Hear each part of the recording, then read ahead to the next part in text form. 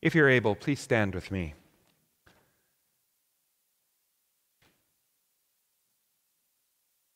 The grace of our Lord Jesus Christ and the love of God and the fellowship of the Holy Spirit be with you all. We sing our opening song from all the wind's wide quarters.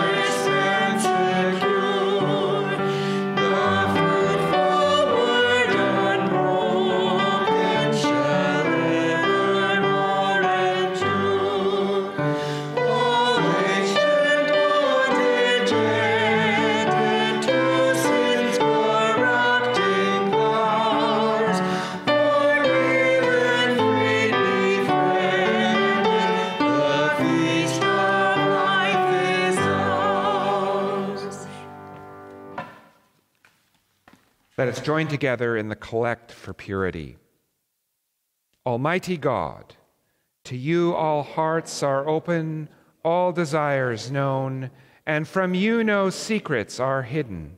Cleanse the thoughts of our hearts by the inspiration of your Holy Spirit, that we may perfectly love you and worthily magnify your holy name through Christ our Lord. Amen.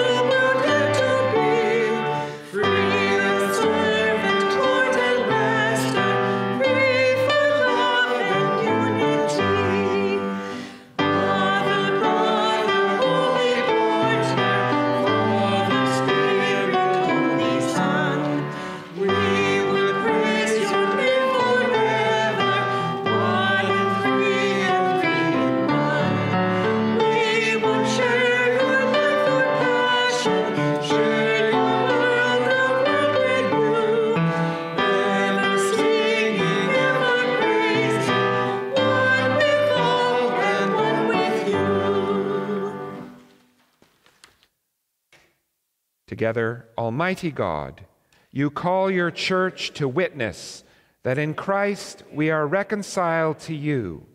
Help us so to proclaim the good news of your love, that all who hear it may turn to you through Jesus Christ our Lord, who lives and reigns with you and the Holy Spirit, one God, now and forever. Amen. Please be seated to listen for God's word.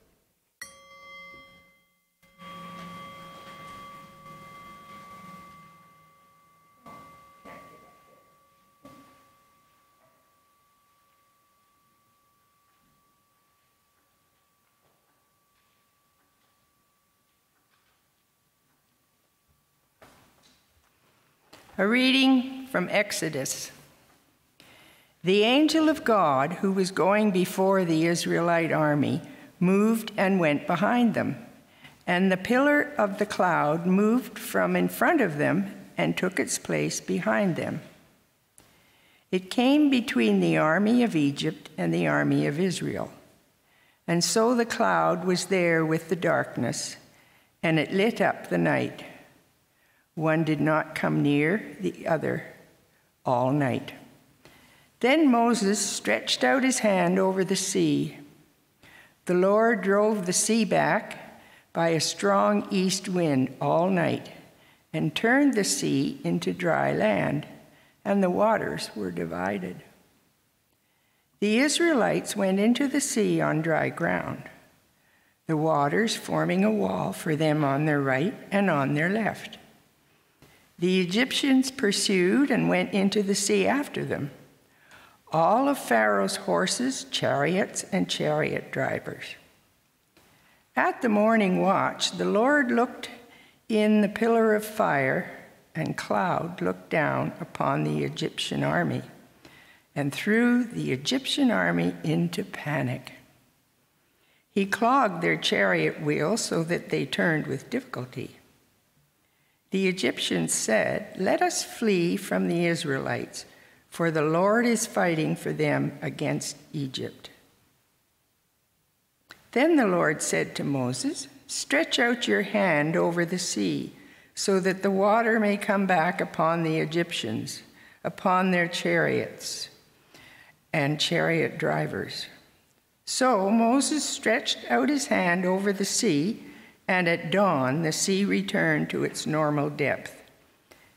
As the Egyptians fled before it, the Lord tossed the Egyptians into the sea. The waters returned and covered the chariots and the chariot drivers, the entire army of Pharaoh that had followed them into the sea. Not one of them remained. But the Israelites walked on dry ground through the sea the waters forming a wall for them on their right and on their left. Thus the Lord saved Israel that day from the Egyptians. And Israel saw the Egyptians dead on the seashore. Israel saw the great work that the Lord did against the Egyptians.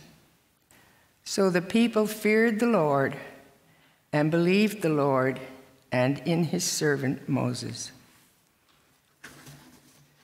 I forgot the.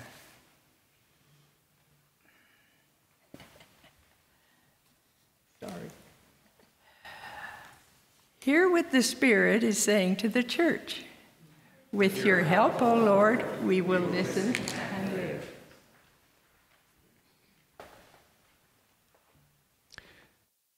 Thank you, Daryl. We respond with Psalm 114. Some feel that this is the psalm that was sung by Jesus and his disciples just before they went out um, on the night that Jesus was arrested. Hallelujah! When Israel came out of Egypt, Judah became the sanctuary of the Lord.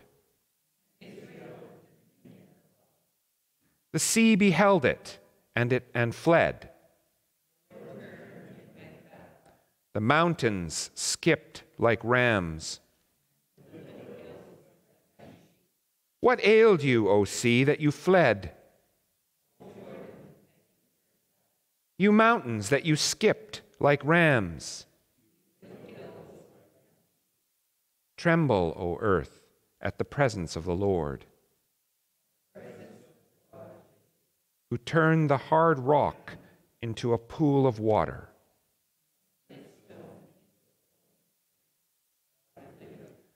Glory be to the Father, and to the Son, and to the Holy Spirit, as it was in the beginning, is now, and ever shall be, world without end. Amen.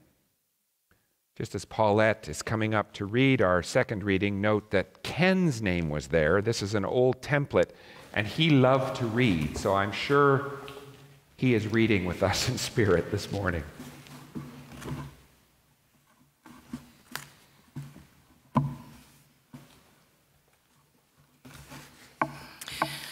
I'm reading from Romans. God, oh, sorry, I'm in the wrong spot here. Okay. Welcome those who are weak in faith, but not for the purpose of quarreling over opinions. Some believe in eating anything, while the weak eat only vegetables. Those who eat must not despise those who abstain, and those who abstain must not pass judgment on those who eat for God has welcomed them. Who are you to pass judgment on servants of another? It is before their own Lord that they stand or fall, and they will be upheld, for the Lord is able to make them stand. Some judge one day to be better than another, while others judge all days to be alike. Let all be fully convinced in their own minds. Those who observe the day observe it in honor of the Lord.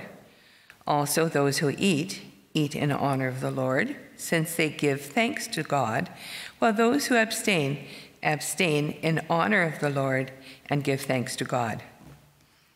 We do not live to ourselves, and we do not die to ourselves. If we live, we live to the Lord, and if we die, we die to the Lord. So then, whether we live or whether we die, we are the Lord's. For to this end, Christ died and lived again, so that he might be Lord of both the dead and the living. Why do you pass judgment on your brother or sister? Or you, why do you despise your brother or sister? For we will all stand before the judgment seat of God. For it is written, As I live, says the Lord, every knee shall bow to me, and every tongue shall give praise to God. So then, each of us will be accountable to God. Hear what the Spirit is saying to the church.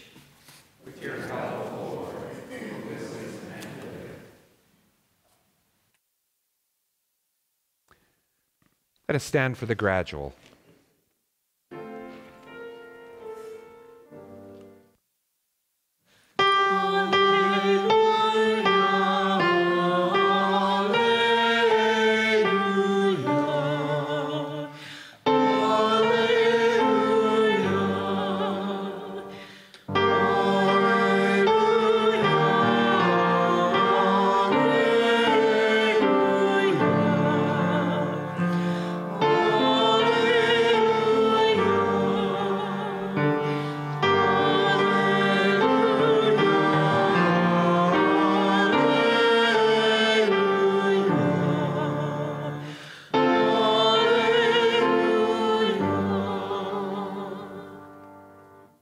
Lord be with you. And also with you. The Holy Gospel of our Lord Jesus Christ according to Matthew.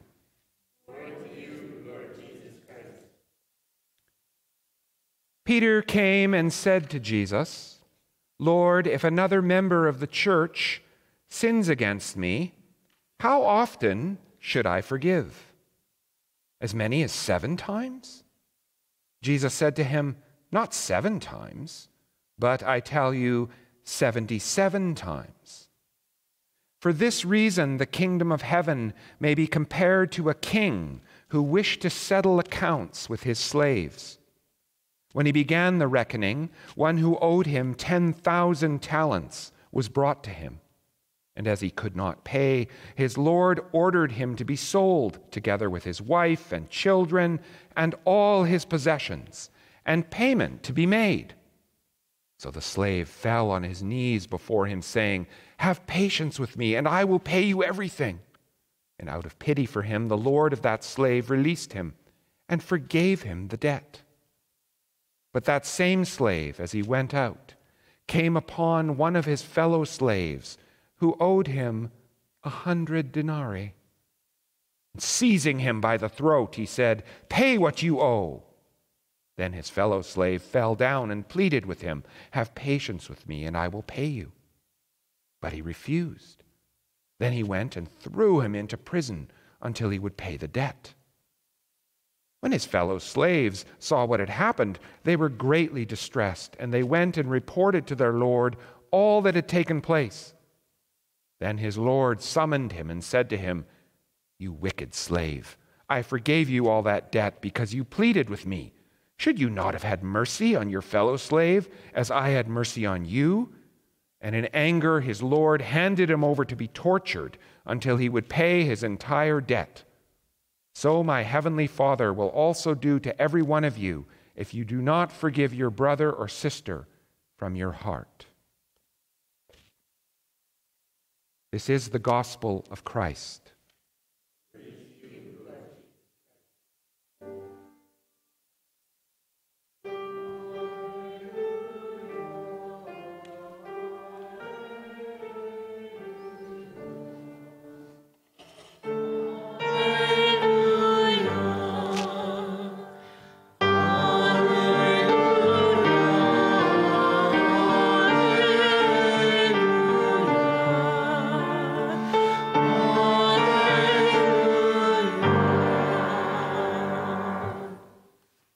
I speak to you in the name of God, Father, Son, and Holy Spirit. Please be seated. So, leaving aside for a moment our personal worlds, which I will connect back to in a few moments, there's a lot going on these days. Now, since I'm part of a strange group called Anglican clergy, I'm allowed to indulge in classic, stereotypical British understatement every once in a while. From time to time. Yes, there's a lot going on. I don't know what feels weirder these days, but just being sequestered indoors, knowing that I'm fooling myself with the quality of air that I'm breathing, is a very strange and, and bizarre reality that, that we're all living in.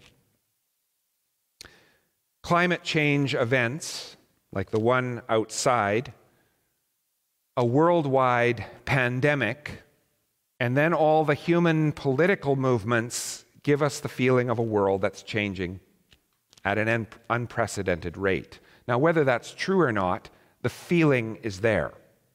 And maybe you're raising children in the midst of this. Maybe you're unsure of what side of the political divides on all the different issues that are out there you're on.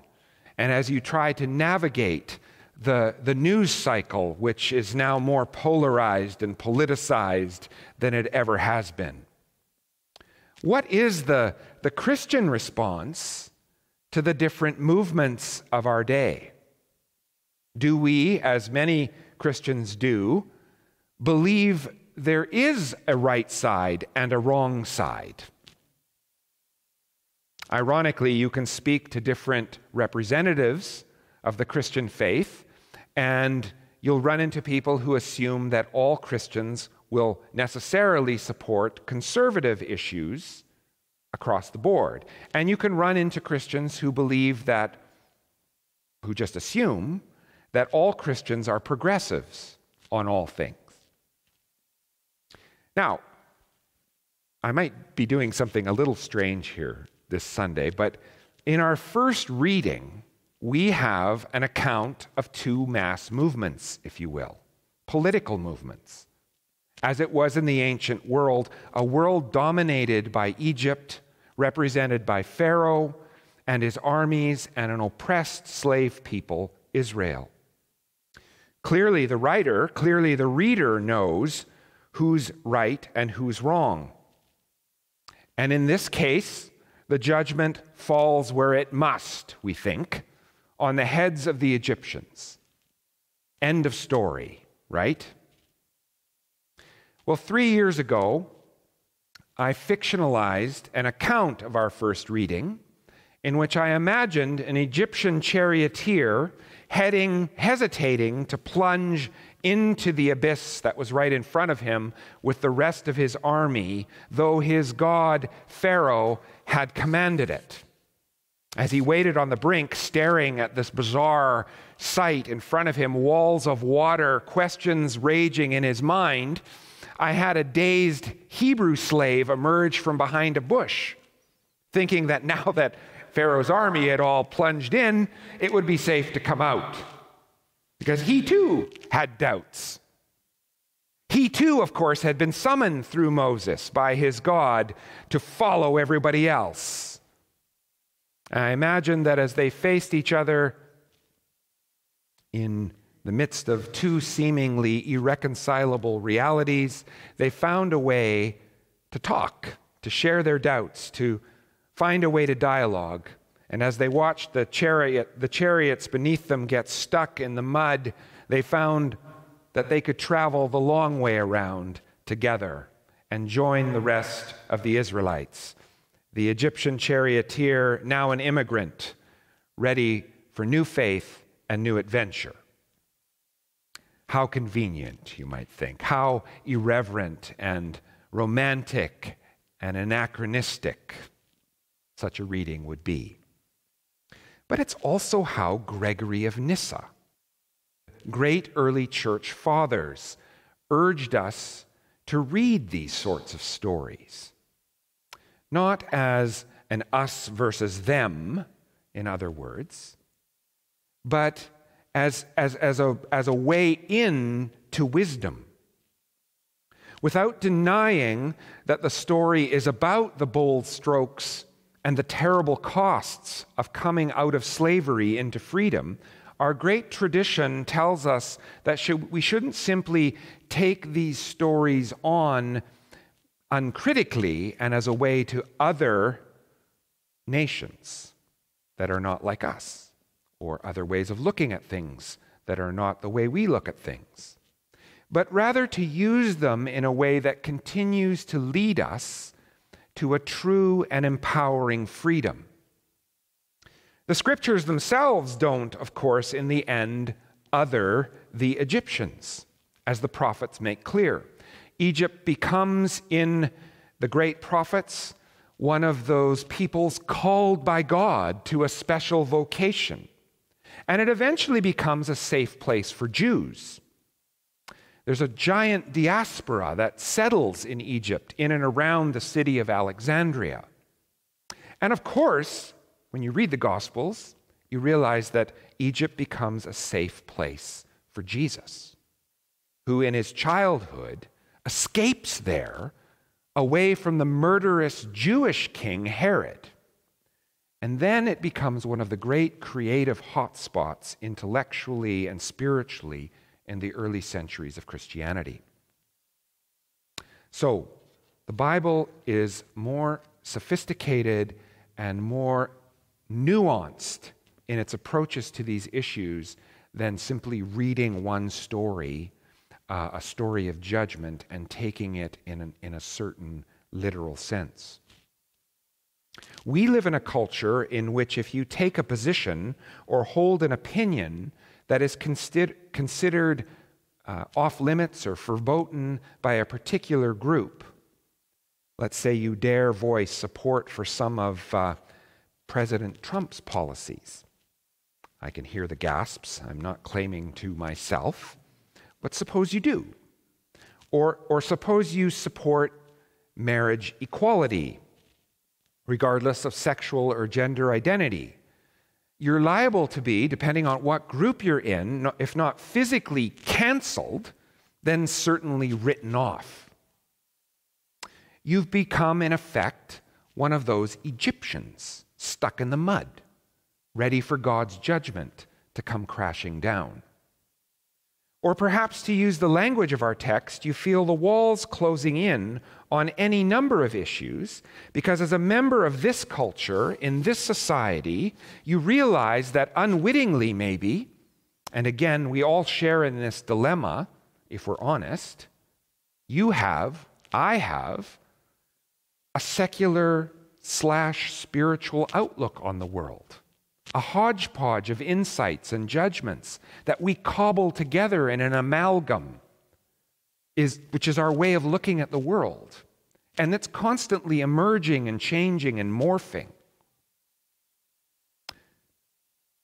So, do you dare share any of that with your friends, your family, your,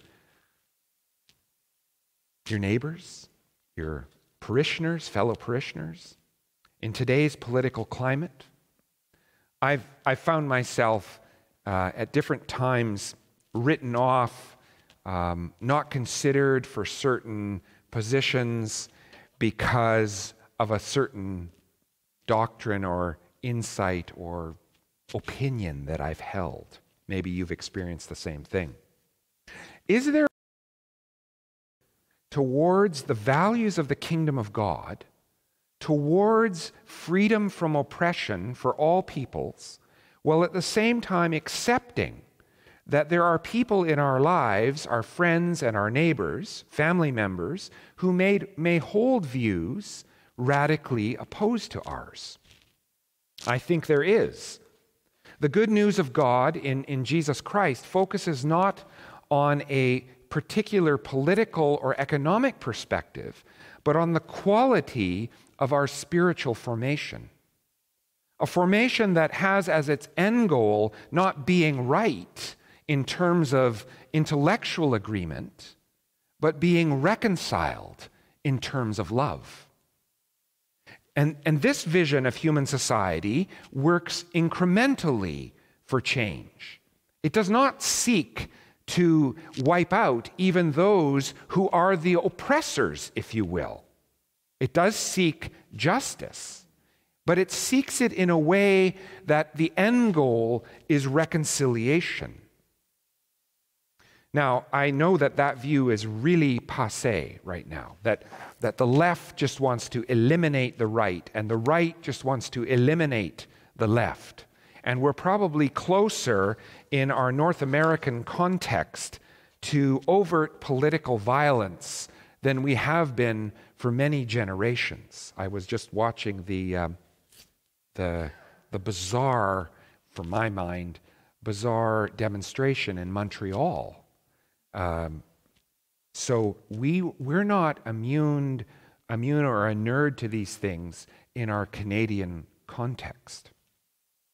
But God's good news, I think, is that the Holy Spirit is simply waiting for individuals and communities to cooperate with God, and that there is hope for this. Because you see, the character of God that we see lived out in Jesus Christ, in human divine form, is the God who forgives seven, seven times 77, who makes dry land where there may only appear to be quicksand and death, and has not given up on our societies even when mass movements and political movements seek to seduce us into canceling each other if we don't agree with each other. Now, we see some of this being modeled for us in Paul's instructions to the Romans. Here are some snippets of Eugene Peterson's paraphrase from the text that Paulette read to us, which was about eating meat that had previously been offered to pagan idols or not, or celebrating Jewish holy days or not within the Gentile context. And it stands in, those disagreements, those divides stand in for ours. Welcome with open arms fellow believers who don't see things the way you do. And don't jump all over them every time they do or say something you don't agree with even when it seems they are strong on opinions but weak in the faith department. Remember, they have their own history to deal with. treat them gently.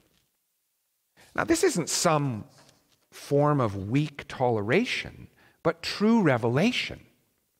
As true as the fellowship that develops between Simon the Zealot and Matthew the tax collector in Jesus' original 12 followers, which would have been an ancient version of secular humanism sitting down with reactionary religion, let's say, fundamentalism, and eating at a common table with Jesus.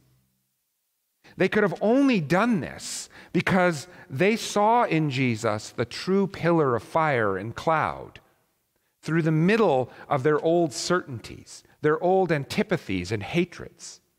And they found common cause not in each other's political viewpoints, but in Jesus the reconciler.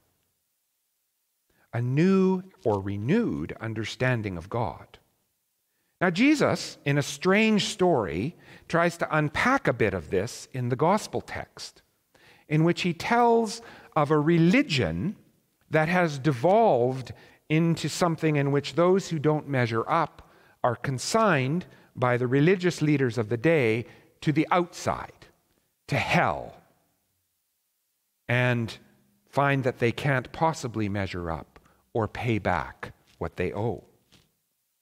He finishes this story, which can be read, I think, needs to be read obliquely, if you will, by saying that we'll be thrown into hell if we don't forgive our brother and sister from the heart.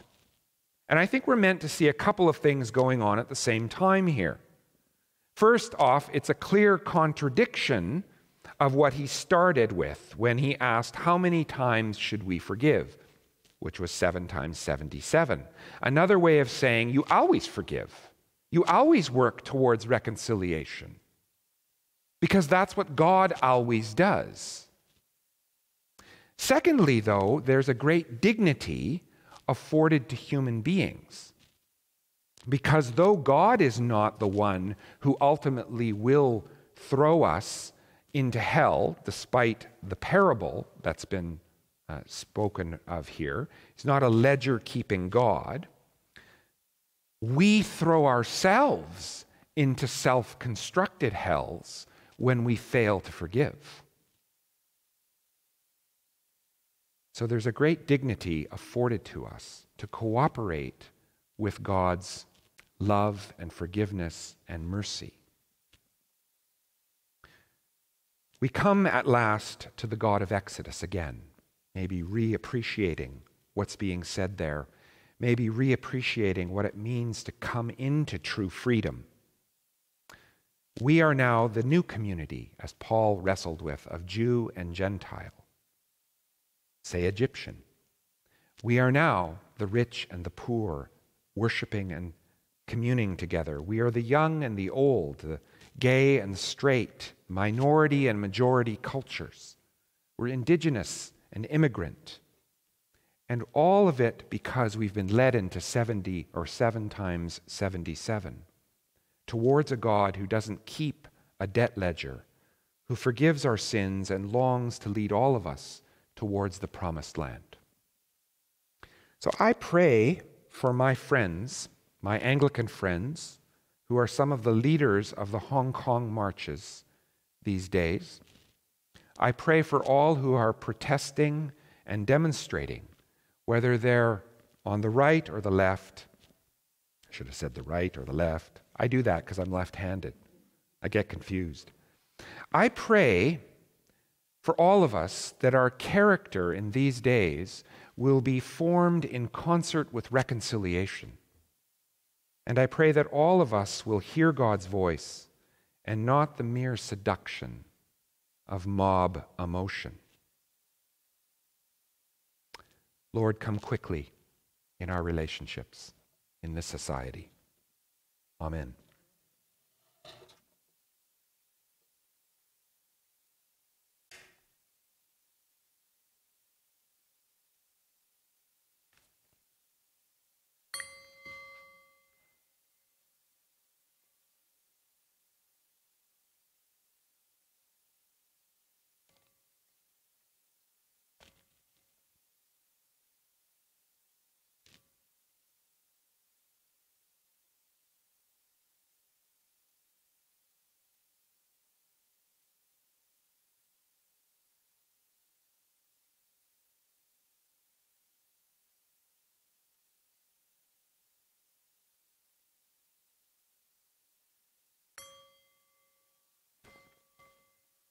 If you're able, please stand with me as we join in the affirmation of faith.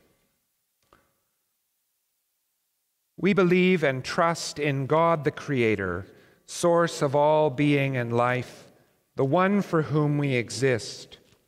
We believe and trust in God the Word, who took our human nature, died for us, and rose again. We believe and trust in God the Holy Spirit, who gives life to the people of God and makes Christ known in the world. This is the faith we affirm. We believe and trust in one God, the holy and undivided Trinity. Please take a position of prayer, standing, sitting, or kneeling that is suitable for you. And as we did at our practice Eucharist on the 30th, I'm just going to invite the prayers of the people. So we'll begin with prayers for the church, globally and locally. Let us pray for the church. Please feel free to speak out your prayers. For the um, deliberations for our new bishop, may God grant all those deciding discernment.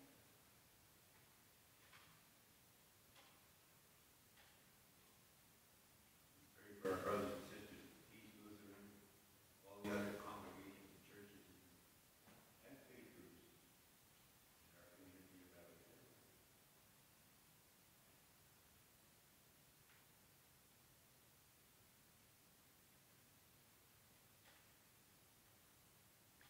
Let us pray for the world. I invite your prayers.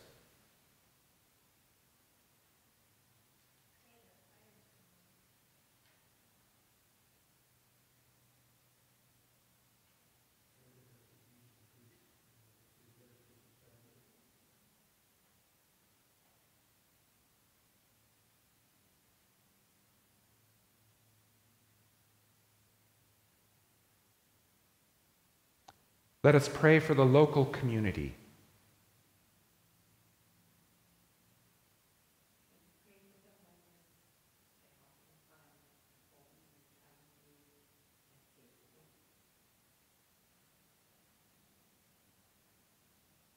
For our policemen, women, our first responders, firefighters, and our own community youth, for the shooting of the day.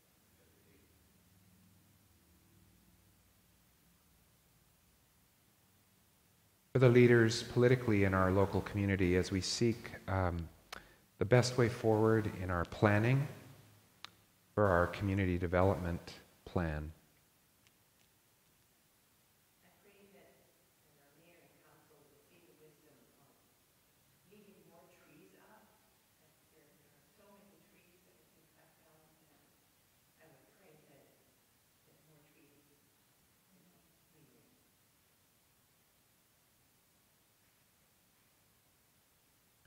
Let us pray for those who are suffering, who are sick, and in need in any way.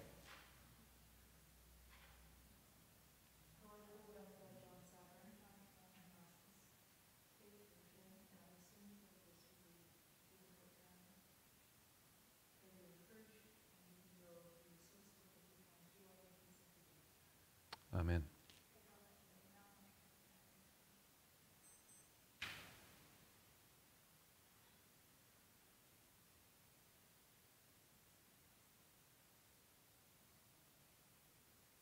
Let us pray for and remember those who have died.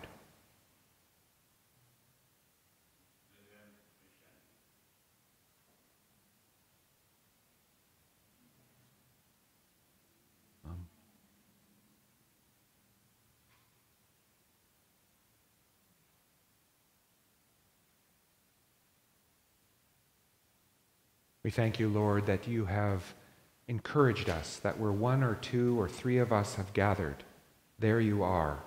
Here you are in the midst of us, ready to hear our prayer, to know the beating of our heart, and to call us towards all that is good.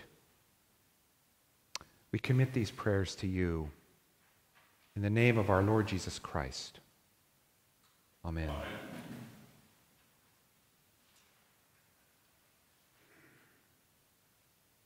Come, my sisters and brothers in Christ, enter the door of grace where more forgiveness awaits us than this world could ever contain. Let us pray. Lord, your grace reaches through races and nations, neither favoring the righteous nor despising the uncouth. Lord, have mercy. God of love, your hopes for us are not deterred by human rebelliousness, indifference, or ignorance. Christ, have mercy. Holy God, you find us in our wandering and save us from all that would cut us off from the light of God. Lord, have mercy. Together, God of countless mercies, we confess our sins to you, knowing that you see our need much better than we do. Please forgive not only the sins we recognize, but also the many to which the culture in which we live may have blinded us. Uncover our private subterfuge, reprove our compliance with community evil, and bring us again into the blessed condition of grace through Jesus Christ, our Redeemer. Amen.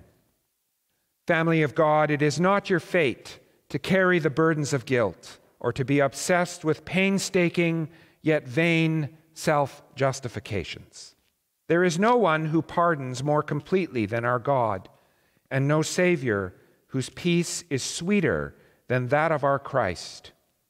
Receive into your heart and mind the rejuvenating life of the Holy Spirit. Now receive pardon, deliverance, strength, and life eternal through Jesus Christ our Lord. Now we will practice the peace at a safe social distance. We can bow to each other and say peace. Sisters and brothers, may the peace of the Lord be always with you.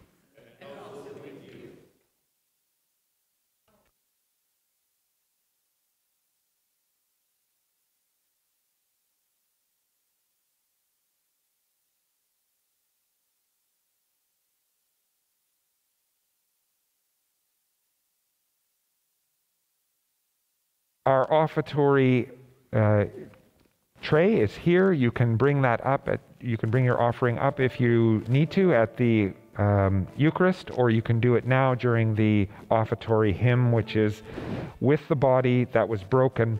We don't have the lyrics in the bulletin, so you'll just have to follow along best you can.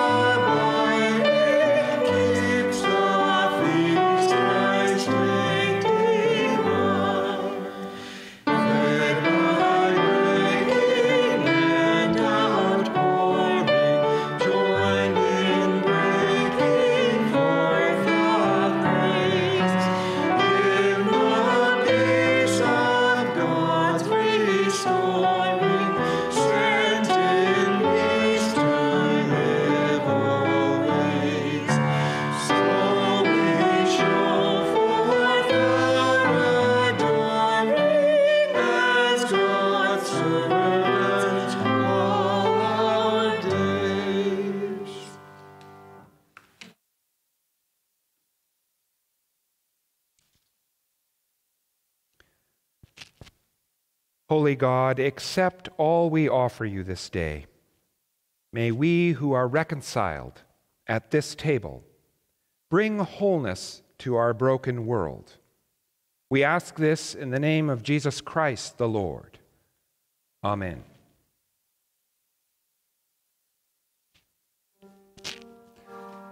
The Lord be with you. With you. Lift up your hearts. We lift them to the Lord. Let us give thanks to the Lord our God. It is right to give our thanks and praise. It is indeed right that we should praise you, gracious God, for you created all things. You formed us in your own image. Male and female, you created us. When we turned away from you in sin, you did not cease to care for us, but opened a path of salvation for all people. You made a covenant with Israel, and through your servants, Abraham and Sarah, gave the promise of a blessing to all nations. Through Moses, you led your people from bondage into freedom. Through the prophets, you renewed your promise of salvation. Therefore, with them and with all your saints who have served you in every age, we give thanks and raise our voices to proclaim the glory of your name.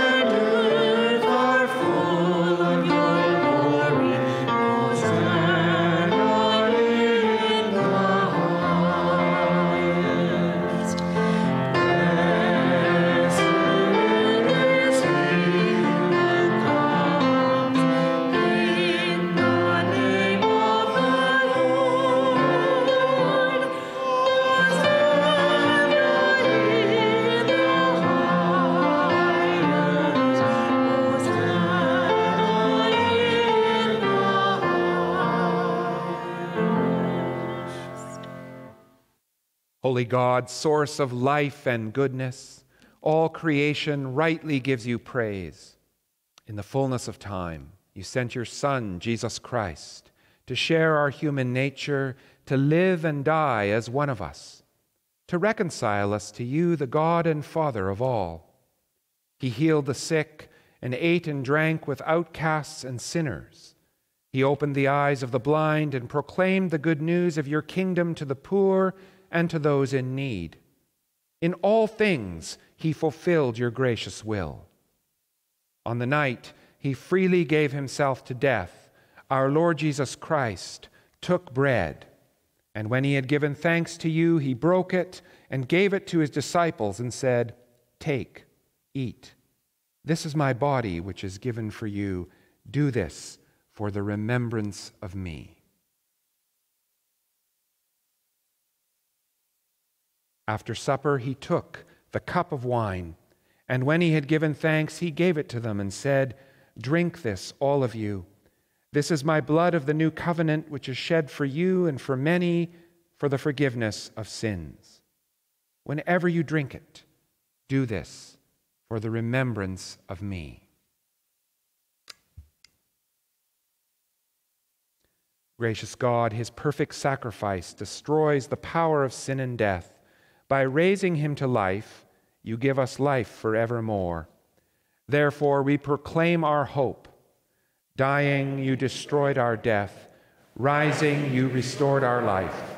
Lord Jesus, come in glory. Recalling his death, proclaiming his resurrection, and looking for his coming again in glory, we offer you, Father, this bread and this cup.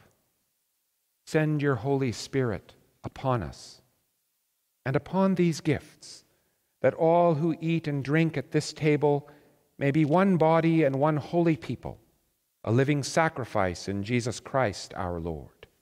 Through Christ, with Christ, and in Christ, in the unity of the Holy Spirit, all glory is yours, Almighty Father, now and forever. Amen.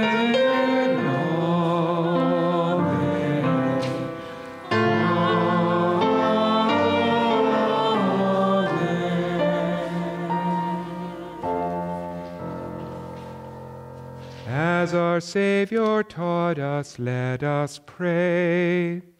Our Father in heaven, hallowed be your name.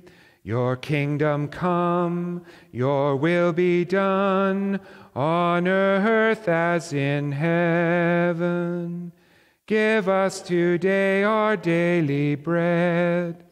Forgive us our sins, as we forgive those who sin against us. Save us from the time of trial, and deliver us from evil. For the kingdom, the power, and the glory are yours, now and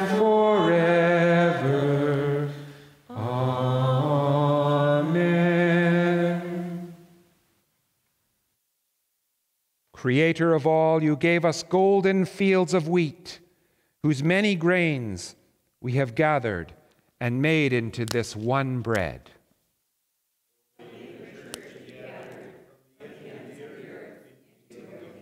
Friends, these are the gifts of God for the people of God. Just invite you to line up singly, six feet apart if possible.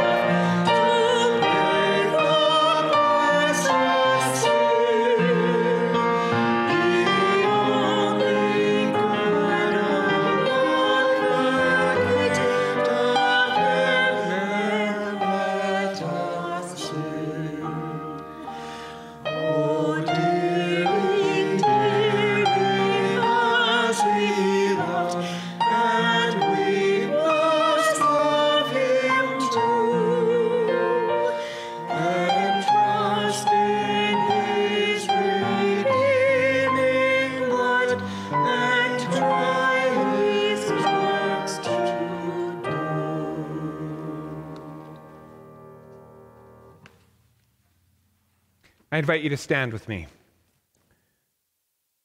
Father, your word and sacrament give us food and life. May we who have shared in holy things bear fruit to your honor and glory in the name of Jesus Christ the Lord. Amen. Now, it's kind of our tradition to look at each other as we say the doxology. So I know it's kind of hard to read it and look at each other, but you kind of go back and forth. Let's try it.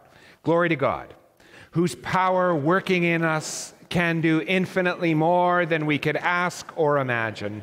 Glory to God from generation to generation in the church and in Christ Jesus forever and ever. Amen.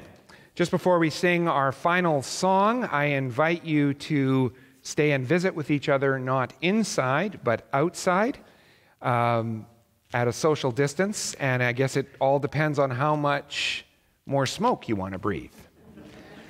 Um, thank you for coming today. We'll meet again in this space on the 27th. You're always um, uh, welcome to join us in the, uh, in the live streaming next week. Also, you'll notice some announcements at the back. There is an online Compline service on Wednesday evenings, which is wonderful, and there is a virtual Bible study on Tuesday nights as well, which you can join just by clicking or registering at those links, and you'll be invited in. Let's sing together, singing songs of expectation, although let's do it in a restrained manner.